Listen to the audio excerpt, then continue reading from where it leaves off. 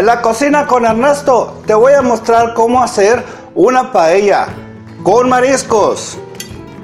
¿Y con qué más va a hacer? Anda, vamos. Va muy buena. Mm.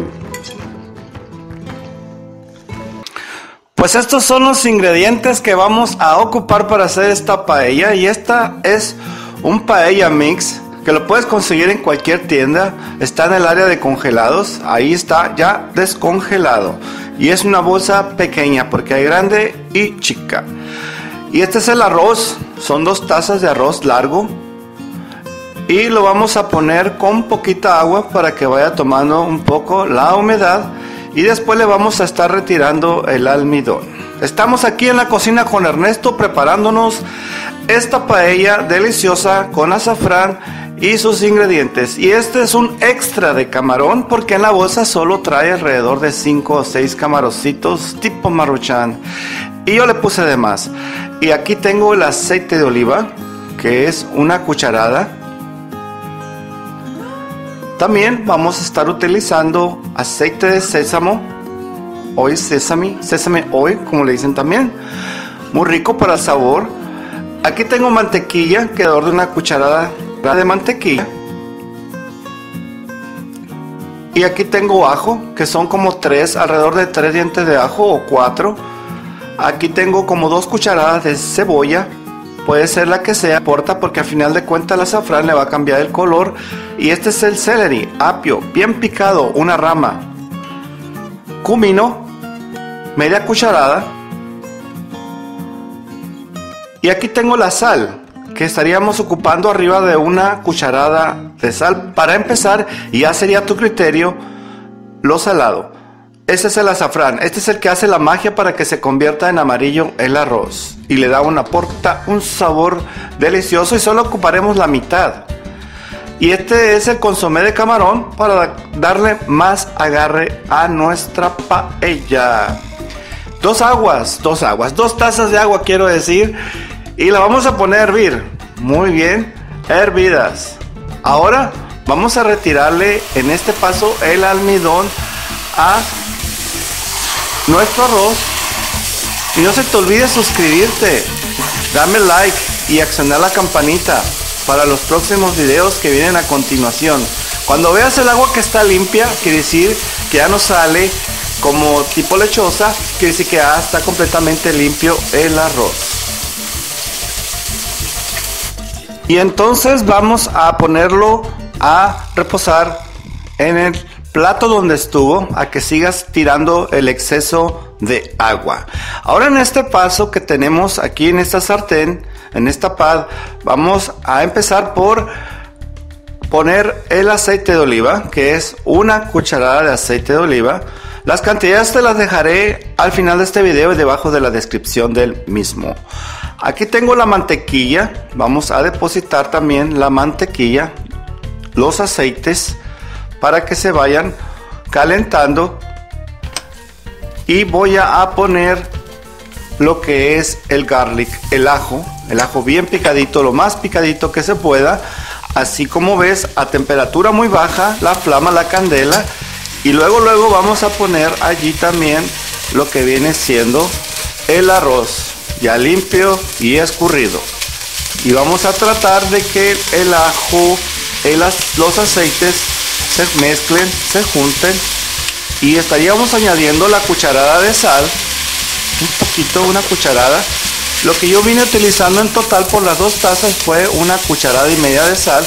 Ya depende del gusto y depende de qué tan salado condimentado lo la quieras tu paella y se me ha pasado ponerle el aceite, el aceite de sésamo.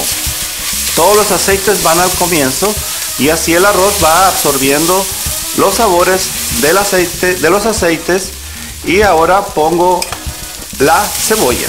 Como te digo, puede ser de la que tengas, de la que quieras. Al final del caso, el azafrán va a penetrar y poner amarillo todos los colores y ahí puse el cumino que nunca falte un cumino en un arroz para darle y resaltar ese sabor delicioso. Aquí tengo el azafrán, yo estoy utilizando la mitad. Si estuviera poniéndole toda la bolsita, pues me saldría muy amarillo, amarillo de más. Este caso te lo doy a ti para que nomás utilices la mitad de la bolsa. Si estuvieras haciendo el doble de la cantidad que yo estoy haciendo, o sea, cuatro tazas de arroz, pues ahí sí, sí te, sí te recomendaría que le pusieras toda la bolsita. Ahora vamos a añadir aquí lo que viene siendo el agua bien caliente. Como ves, dos tazas medidas, ya super medidas. Y aquí pongo el celery, el apio, que también le va a dar el peculiar sabor y resaltando. Y aquí le pongo el consomé de marisco. Suscríbete, dame like y acciona la campanita para los próximos videos que estaría haciendo. Ahora añadimos rápidamente la bolsa de mariscos, lo que venía dentro y los extras camarones que yo le añadí. Y ahí debe ser. El secreto de todo esto es que no tenga demasiada agua para que no se bata y no se haga masudo. Entonces yo le, siempre le pongo a lo que es el tope en cuanto así se parece una pequeña lagunita como lo estás viendo sin que llegue a estar demasiado caldoso. Es ahí cuando pruebas el salado. ¿Cómo está? ¿Cómo te gusta? Y yo vi que le faltó. Como te digo, fue una cuchara y media de sal lo que utilicé por dos tazas de arroz. Bien medidas. Y ahí lo vamos a dejar a reposar por 15 minutos a fuego muy lento con una tapadera que no se escape nada el vapor, que no se escape el steam.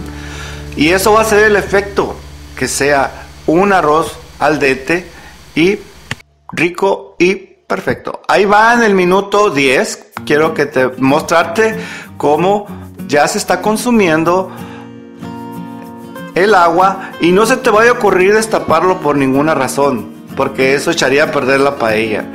Ahí ya quedó el minuto 15 y ves que ya no tiene nada de agua.